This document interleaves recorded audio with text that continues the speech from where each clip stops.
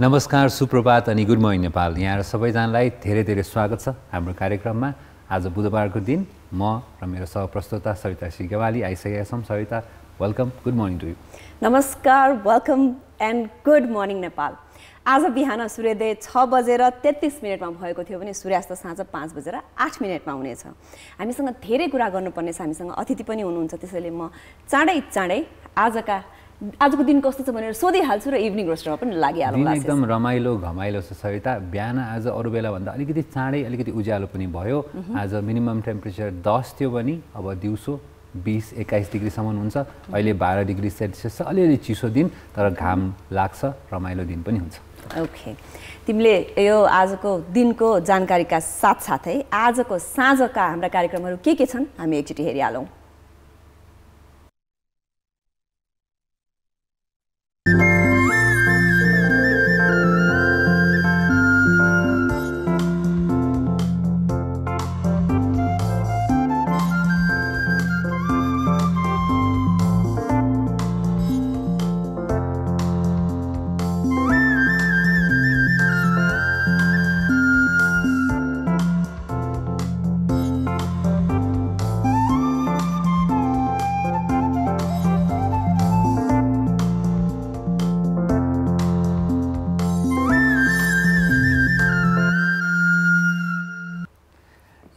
आजका कार्यक्रमपछि यहाँलाई स्वागत छ आज हामीसँग विशेष अतिथि हुनुहुन्छ आज हाम्रो स्टुडियोमा आइसक्नु भएको छ नेपालका लागि अमेरिकी राजदूत ऱ्यान्डी बेरी र उहाँलाई हामी वेलकम गर्नुभन्दा अगाडि एउटा सानो भिडियो तपाईँहरूलाई देखाउँछौँ भिडियो हेरौँ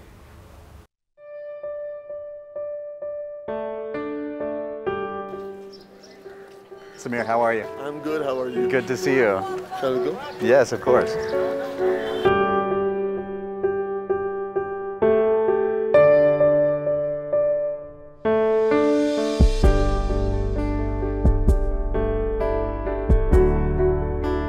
So, Your Excellency, this, I mean, this is amazing. It is, isn't it? But uh, after the earthquake, how bad was it? Indeed, it is. It was bad. Uh, you know, the, the, the earthquake in 2015 really uh, inflicted some very major stability issues uh, into this building. I mean, if you take a look at some of the cracks that are apparent Yep, here, yep, you know, yep, we had parts of the ceiling here uh, that had uh, that had collapsed and were Mm. beginning to come down. Uh, I think the stability along this this this exterior wall here was in such bad shape that, in fact, the UNESCO folks that we had consulted with uh, were somewhat doubtful that we Really? could actually save the the structure. Wow. So, you know, the, the, the wall had been separated, so we saw a lot of instability on, on this side, a lot of instability out of the roof. I mean, basic, you know, structural concerns that really could have doomed this building to history uh, with, with that belief that it maybe was not possible to restore. So, Your Excellency, I mean, looking at this, it looks like you know a lot of expertise has gone into this. You know, I mean, there's a traditional point of view, there's the international point of view. How did you choose the team? Like, there's the international team and there's the local team. How was that chosen? You know, this project actually posed a very complicated challenge to us because, you know, historic preservation and really working to uh, preserve the integrity of the structure in a historically important way is always our gold standard. But this project was different because it also required technical input to stabilize the building because the damage had been so significant. So this was a, a rather more complicated process for us. But whenever we look at one of these projects, we uh, open up an open tender. So, uh, you know, organizations uh, were able to submit proposals and we took a look. Ultimately, we ended up choosing Miyamoto Global Disaster Relief because they had experience on the technical side that could really take care of the most urgent task, which was stabilizing the structure. Because again, you know, UNESCO had some doubts we could actually preserve the structure. They came in and take, took a look and said, we can, we can do this. Other really important part of this process. Uh, again, we put a, a huge emphasis on partnerships when we do this. So, uh, because this is obviously a, a, a Nepali landmark, a culturally, historically important building, partnership with the government of Nepal through the Department of Archaeology, always critical. But also the skill set to really take a look at the essentially Nepali characteristics and the tradition here uh, really requires us to partner effectively with local artisans. Right. This is a really important part of every project we do here is because we want to make sure that we are honoring historic traditions, methods of construction. So this really was a, I think, perfect marriage between you know high technology, high tech uh, ability to stabilize and to build this structure back better, but then adding in the component of local skills, government of Nepal and archaeology department sort of partnership to make sure that we were combining all these in a, in a, in a way that means uh, not only is this place restored to its original grandeur, but it's done so in a way that makes it safe and secure and stable for future generations also. Wow, amazing.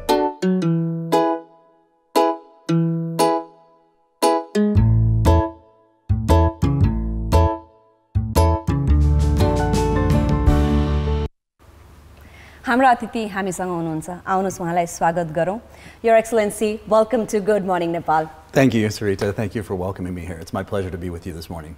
As we can see, Gaddi Baitak looks amazing. What are our future plans to sustain it and maintain it? First of all, doesn't it look amazing? Uh, just looking at those pictures really uh, stirs something uh, within me. I think a key part of this really is to understand that now Gadi Baitak is going to be more accessible. So through the launch of a sustainability plan yesterday with the Minister of Aviation, Culture and Civil Aviation, uh, we really rolled out uh, jointly uh, what the plan for future usage is, which includes the opening of a museum on the on the on the ground floor and uh, the the, the uh, beginning of guided tours throughout the, the main hall, which I think will make Gadi Baitak accessible to Nepalis and to international visitors really for the very first time. That's exciting. It is, it is. It, it looks, and, and I, I can't wait to just go there. And I, I was looking at the pictures, it looks amazing. Uh, but coming back to Good Morning Nepal, Master, uh, we were very curious. Um, you, you look very fit and energetic. How do you start? What is your morning routine? Because I'm sure our viewers would like to know. well, thank you. I, I, I start early in the morning. Uh, so I have, I have two young kids, so you know our house is, is, is full of chaos when, uh, when I'm getting ready in the morning. Uh, but I make sure that, uh, you know, because I have a pretty energetic schedule, I have a lot of passions that I work on here. Plus, I have responsibilities as, as, a, as, a, as a father also uh, to keep myself fit. So I also make time to exercise every single day uh, just to make sure that I'm on top of my game all the time. Okay, this is a question morning show we'll have to ask. Are you a morning person? I am definitely a morning person. Okay. Um, now, going back, you were here 10 years ago as, um, and then again now you are here after 10 years. What are the changes, like drastic changes that you've seen? Well, you know, it's been a pretty substantial change. That you know, when I was living here before, back in 2007 to 2009, of course, the country was really coming out of a traumatic period of its history. So the conversations that we were having with government, with political parties, and with uh, you know, with civil society really was about stability and stabilization, and about the need to put structures into place. It's a completely different conversation these days where we're talking about how to grow the economy, how to create greater opportunity for all Nepalis. So that's, that's a pretty exciting change over a decade. I think it's important to always uh, note just how far the country has come in the last uh, 10 years. Of course, there's a lot that still remains to be done, and I'm really excited to be working on that. Yeah. Uh, Ambassador, I was curious, uh, and I want to ask you that you seem to have, you know, gone all around Nepal and done everything. Right? uh, so, one, what is one story that uh, from Nepal that you take around the world and you share with people? Uh-huh. Maybe something on top. of Yeah, well, look, I make it a priority to get out and, and to do as much as possible. That I think really the beauty of this country is in its, its in its marvelous diversity. So I've had a chance to travel to you know most of the cities in in, uh, in the Terai. I've had a chance to travel through the mid hills up in the mountains. Uh, I've had so many meaningful experiences. But I think you know in a in the sense of a landscape, just seeing the, the landscapes of Upper Mustang, for example, or seeing the shrine at Muktinath, uh, you know, and just getting a sense of the deep deep culture uh, and historical roots in this part of the world uh, is really amazing. But I think first and foremost, I'd point out uh, the people that I've met. That I, unlike um, not not unlike many other Americans, have come back and again and again and again to Nepal. Uh, it's not the mountains that brings them back; it's the people and it's the culture. That's why I'm really uh, focused on interactions with young people, for example, uh, and always trying to understand uh, Nepal's very complicated uh, history and culture a little bit better. Wow, and then we get this a lot. Like every time uh, when we have visitors who come to Nepal, they say it's people. So if you have to describe Nepali people, how would you describe them? Uh, well, I have a lot of adjectives: warm, hospitable, caring, open. Uh, you know, willing to share their culture. I mean, this this I think is the hallmark that wherever I've traveled in Nepal, whether it's here in Kathmandu or whether it's in the most remote village, I I really sense that warm welcome and hospitality, and that I think is what brings Americans here time and time again. Uh, You know, again. It's the mountains off it and that brings them in the first place, but it's not what brings them back. Oh, it's so nice to know that, and thank you. And again, uh, looking at, I'm sure you must be having a bucket list. So, what is the remainder of the bucket list that you have for Nepal? Well, you know, I, I have not had the chance to trek as much as I would I would like. So, you know, I want to get up onto the Langtang trek. I want to I want to do the Annapurna circuit. I want to go up to Manaslu. I haven't had a chance to do any of those uh, those three uh, just yet. But there are still a number of places that I haven't seen. I haven't had a chance yet to, to travel out to the far west uh, since I've since I've come back. So I have a I have a pretty extensive bucket list to, to, to tick off. Okay, again, going back to Ashesh, uh, the question that he um, uh, asked earlier, if you are somewhere outside the world, as you are known as tra- um, traveling ambassador, some story that you have to say about Nepal, what would that be? Uh-huh. Well, you know, I, I think one of the one of the uh, encounters that I've had that has been most meaningful is I had the chance out in Nepalganj in rural Banke district to, to go and talk to a bunch of uh, a group of women who were looking at sort of sustainability in, in agriculture, and uh, you know, I think that it was it was very meaningful to me to see in these rural areas the role of women uh, changing, where women are in much greater control of their finances, they're much in much greater control of making decisions within the family, and you can just sense the, the confidence and the self-assuredness uh, that I think is really a, a very promising, uh, uh, you know, thing to observe here. You know, I had a chance to talk to a 25-year-old woman who was not only running her household and was bringing, uh, you know, money in and organizing a household, but she was taking care of parents. She was running a small business on the side. Um, and this, to me, you know, gender uh, equity and the role of women here has been a very, very important focus of my time. Uh, and it was, it's really nice to see that on the ascendancy.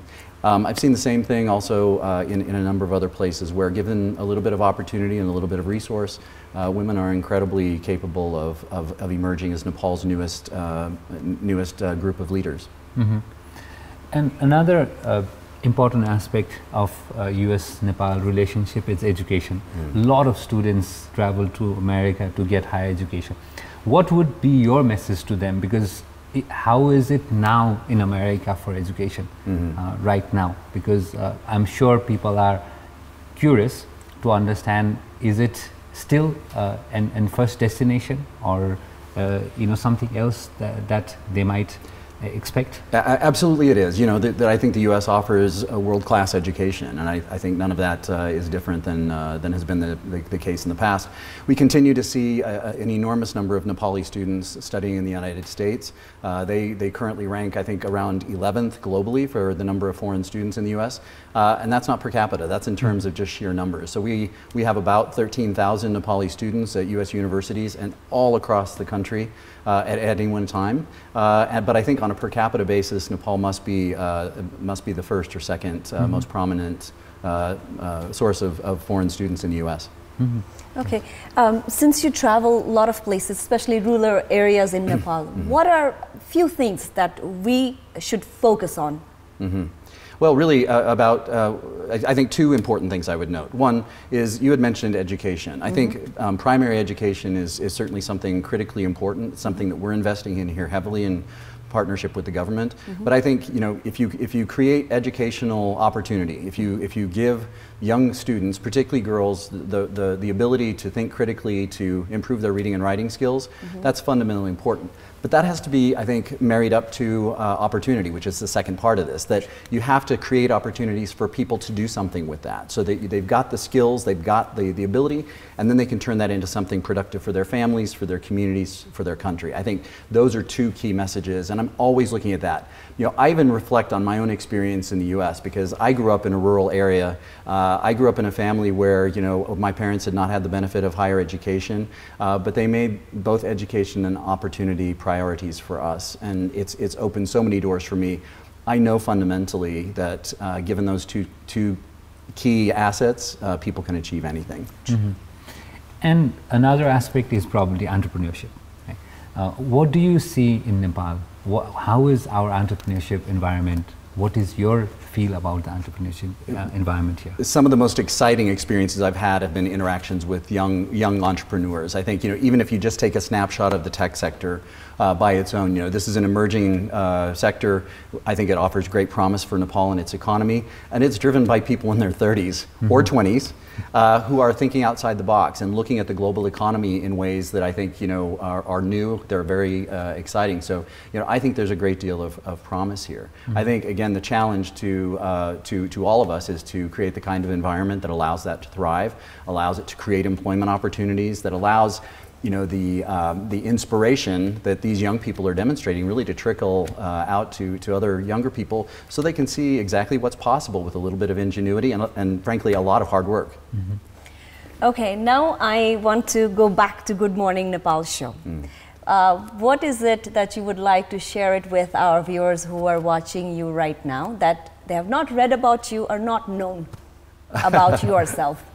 Uh, well, I don't know that there's much people don't know. I, am a pretty, uh, I'm a pretty open uh, sort of person. I think one thing that I'm always interested in communicating to Nepalis, whether I'm meeting them for the first time or, uh, or, or, subsequent encounters, whether it's rural or urban, is to really help them understand uh, the great deal of respect that, that, that, I have for the history and culture uh, of this place. Mm-hmm. Um, it's one reason, you know, we, we were just looking at these beautiful pictures from, from Gaddi Baitak, for example, you know, to really demonstrate that um, I believe that the greatest uh, natural asset that Nepal has, in fact, are not the mountains, uh, and it's not anything so, uh, so simple as that. That in fact, it's, it's the human resource, it's the, the, the, uniqueness of the culture, it's the approach of the people. That's where I think we need to invest, and that's where I'm really, really focused on using, you know, what, what I, using all the tools in my arsenal really to create again those, those opportunities. So, you know, I think, uh, you know, I often get questions about, uh, you know, on our, our social media. I'm very, very active on, around cultural holidays. I really, you know, as you're seeing here, I'm mm-hmm. trying so, a little bit of lassi down in Janakpur. Um, this is really important to me because this is part of the, the experience of being in Nepal. I think it's really important to not only uh, do it, but also demonstrate that, uh, uh, you know, of getting outside of the bubble and, and attempting to really understand and pay proper respect for the culture here. Mm-hmm. And Ambassador, I think what you're doing is amazing, and and what why I think we all should appreciate is, you know, we are about to celebrate Visit Nepal year also. Mm. So whenever you travel out of Nepal, what are the questions that people ask uh, about Nepal to you they must, there must be a lot of curious people asking questions about Nepal. There are. Well, thank you for the compliment, and I think also for you know the tie-in to the Visit Nepal 2020 I think this is a great opportunity.